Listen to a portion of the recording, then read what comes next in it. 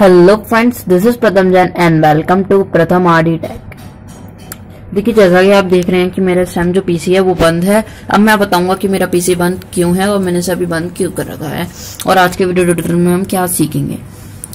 तो आज के वीडियो ट्यूटोरियल में मैं आपको बताऊँगा कि आप कैसे एक्स्ट्रा बूट एंट्री को बिना किसी सॉफ्टवेयर की मदद से डिलीट कर सकते हैं। जी हाँ बिल्कुल, बिना किसी इंस्टॉलेशन मीडिया के। आप जो एक्स्ट्रा बूट एंट्री होते हैं ना डिलीट कर सकते हैं। कभी कभी क्या होता है, हमारे गलती से इसी बी सी डी नाम से सॉफ्टवेयर है, या मेनी अदर रीजन से हमारा एक्स्ट्रा बूट एंट्री बन जाती है। मीन्स आपका जो बूट लोडर होता है, उसमें एक ज़रूरत से ज़्यादा बूट एंट्रीज दिखाता है, जो बिल्कुल ब्लैंक होती है। कुछ कुछ बूट एंट्री ब्लैंक्स होती है, अगर आप उस पर क्लिक करेंगे तो वो कुछ बूट नहीं करेगा, क्योंकि वो बूट एंट्री ब्लैंक्स होती है। तो चलिए स्टार्ट करते हैं, कैसे उसे सॉल्व करना है। और मैं आपको दिखा देता हूँ, मेरे अंदर मेरे पास इतनी सारी बूट एंट्री तो चलिए मैं अपने कंप्यूटर को स्टार्ट कर लेता हूँ।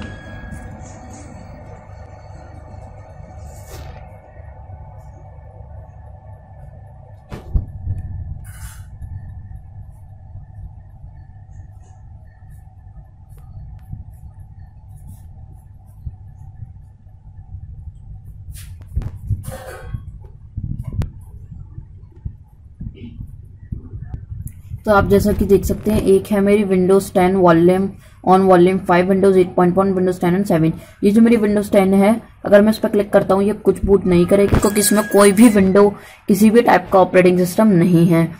तो अब मैं आपको बताऊँगा कि आप कैसे इस एरर को सॉल्व कर सकते हैं। तो चलिए स्टार्ट करते हैं। सबसे पहले मैं आपको दिखा देता हूँ उसमें कुछ भी नहीं है। रिकवरी का ऑप्शन आ गया। हम इसको रिस्टार्ट कर लेते हैं अपने कंप्यूटर को।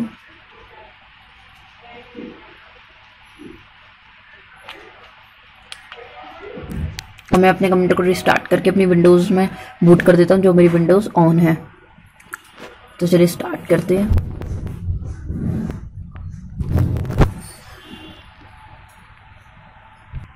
तो देखिए, मैं अपनी विंडोज़ में बूट कर देता हूँ अपनी विंडोज़ टेन में। ओके तो ये मैं मैं अपने कंप्यूटर में बूट कर देता हूँ, अपना पासवर्ड डाल देता हूँ। तो मैं अपने विंडोज़ में बूट कर चुका हूँ। जैसा कि आप सभी को दिख रहा है तो मैं आपको बताऊँगा आपको करना क्या है। आपको विंडो आर दबाना है। ये रन बॉक्स खुल जाएगा विंडो आर से। अब आपको उस पर टाइप करना है। M S M S config बस। फिर आपको ओके कर देना। सॉरी मैंने गलत टाइप कर दिया, जैसे कि आप सभी को दिख रहा हूँ, मैंने एम एस कन्गे टाइप कर दिया है। मुझे टाइप करना है M S config means Microsoft configure okay कर दीजिए।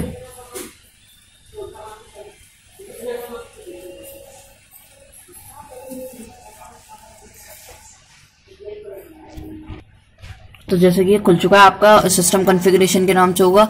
इसमें आपको जर्नल के साइड में एक बूट टैब होगा, उस पर चले जाइए। अब आपको उसमें आपकी सारी एंट्रीज दिखा रहा होगा। तो एक है मेरी विंडोज़ 10 जो करंट ओएस है डिफ़ॉल्ट ओएस है विंडोज़ 8.1 और एक विंडोज़ 8.1 एक विंडोज़ 10 और ये जो विंडोज़ 10 है, ये एक्स्ट्रा है। तो अब मुझे क्या करना है? इस विंडोज़ 10 को पे क्लिक करना है और यहाँ पे डिलीट का ऑप्शन आ रहा है, उसको डिलीट कर दीजिए। अप्लाई कर दीजिए। और ओके कर दीजिए। अब आपको उसमें रीस्टार्ट का ऑप्शन आ जाएगा, आप रीस्टार्ट कर दीजिए। अब ये रीस्टार्ट करके नहीं आएगा, मैं आपको दिखा देता हूँ। ये मेरा कंप्यूटर बूट हो रहा है मीन्स ऑन हो रहा है।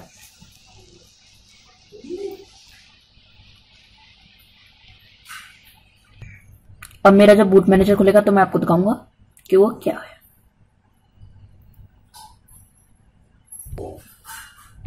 देखिए तो अब मेरा बूट मैनेजर खुल चुका है। मेरे पास एक विंडोज़ 10 का ऑप्शन आ रहा है विंडोज़ 8.1 और विंडोज़ 7 अब आप सोच रहे होंगे, मैंने ट्रिपल बूट कैसे किया? सबसे पहले मैंने विंडोज़ 7 और विंडोज़ 10 को बूट किया था, जैसे मैं अपनी पहली वीडियो में दिखा ही चुका हूँ। इसको मैंने कैसे किया? सबसे पहले मैंने विंडोज़ 7 डाला, फिर 8.1 फिर 10 ओके आई होप आपको वीडियो पसंद आई अगर आपको वीडियो पसंद आई तो लाइक शेयर और कमेंट करना बिल्कुल भी ना भूलें। और अगर आपको वीडियो में कोई प्रॉब्लम की हो तो हमें कमेंट करके ज़रूर बताएँ। हमारी वीडियो में क्या प्रॉब्लम चीज़ें सुधार सके। तो चलिए अगली वीडियो में मिलेंगे, तब तक के लिए बाय